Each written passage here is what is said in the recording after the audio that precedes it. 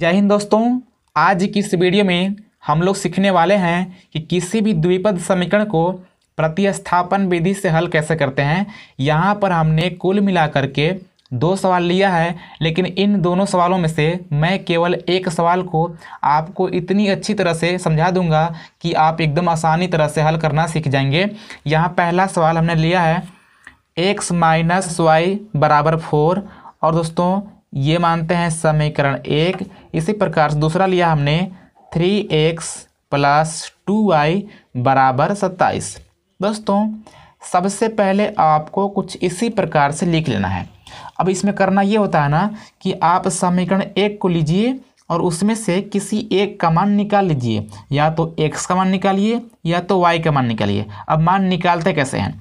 तो सबसे पहले आपको लिखना पड़ेगा कि समीकरण एक से, समीकरण एक से।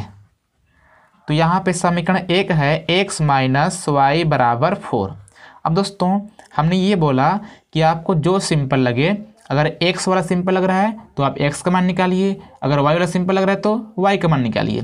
तो यहाँ पे मैं करता हूँ कि एक्स बराबर फोर और ये वाला है माइनस वाई अगर आप इसको लाएँगे इधर तो हो जाएगा प्लस में वाई यानी कि आप ये कह सकते हैं कि एक्स का मान हो जाएगा फोर प्लस वाई। सीधा सा यहाँ पे एक्स का मान निकल गया फोर प्लस वाई। अब दोस्तों, जैसे ही आपको एक्स का मान मिल जाता है तो आप लिखिएगा कि एक्स का मान समीकरण दो में रखने पर एक्स का मान समीकरण दो में रखने पर। यानी कि बहुत सिंपल बात है कि आप समीकरण एक से किसी एक का मान निकाल लोगे जिसका मान निकालोगे, उसका मान समीकरण दो में रख देना है। तो यहाँ पे समीकरण दो है, three X plus two Y बराबर सत्ताईस। दोस्तों, यहाँ पर एक्स का मान हमने निकाला है, फोर प्लस वाई तो जहाँ भी एक्स है, वहाँ रख देंगे फोर प्लस वाई। यानी कि ये वाला तीन अपने स्थान पे, इस जगह एक्स था तो एक्स का मान मिला है फोर प्लस वाई तो हमने कुछ इस प्रकार से रख दिया। प्लस में टू वाई अपने स्थान पे बराबर सत्ताईस अपने स्थान पे। दोस्तों, आपको पता है यदि किसी भी कोष्टक के बाहर कोई अंक होती है तो ये वाला अंक किसी कोष्टक के अंदर जितने संख्या होते हैं, सब में गुणा करता है। तो ये वाला तीन दोनों में गुणा करेगा। जब तीन गुणा करेगा चार में तो हो जाएगा तीन चौको बारह प्लस। जब तीन गुणा करेगा वाई में तो हो जाएगा थ्री वाई प्लस। ये वाला टू वाई अपने स्थान पे बराबर सत्ताईस।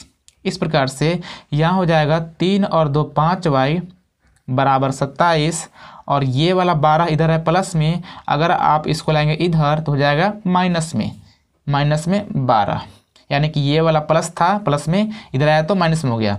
अब पाँच वाई बराबर हो जाएगा, सत्ताईस में घटाएँगे बारह तो बचेगा पंद्रह। यानी कि वाई का मान हो जाएगा पंद्रह बट्टा में पाँच, यानी कि ये वाला पाँच था गुड़ा में इधर आएगा तो बट्टा में हो जाएगा। तो इस प्रकार से? पाँच तिया पंद्रह। तो वाई का मान हो जाएगा तीन। उम्मीद करता हूँ कि इस प्रकार से आप समझ गए होंगे। अब दोस्तों, यहाँ पर केवल आपको वाई का मान मिला है। लेकिन दोस्तों, इससे पहले आपने एक्स का मान निकाला था फोर प्लस वाई जो कि यहाँ पर है।